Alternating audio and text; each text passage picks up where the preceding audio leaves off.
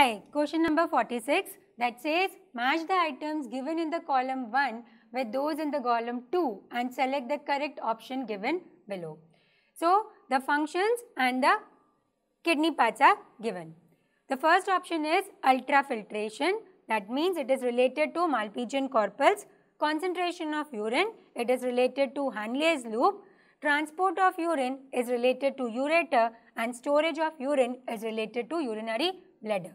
So, as we all know that ultrafiltration is related to the Malpighian corpus. So, for first A is 4th, B is 1, C is 2, D is 3. So, question 246 the answer is 4th option. Explore more about the topics you love with Toppr. Subscribe now and keep learning.